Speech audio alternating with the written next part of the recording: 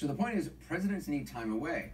So tonight, no lectures about the vacationer in chief, but it is only fair to point out that this president was an especially harsh critic of his predecessor for golfing and taking vacation. Uh, when uh, when it was President Obama doing it, uh, candidate Trump and civilian Trump went after him for it. So as you watch this, just remember this president has now taken almost twice as much time off as the man he loved to criticize on the campaign trail.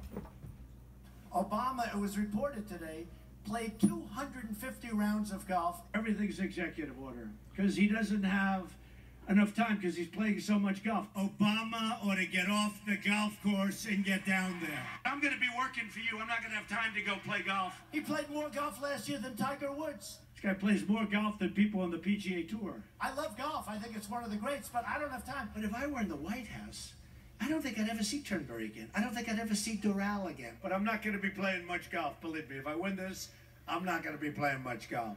I wouldn't leave the White House very much because, you know, like little things like these little trips where they get on, they cost you a fortune. I love working. I'm not a vacation guy. I don't take vacations.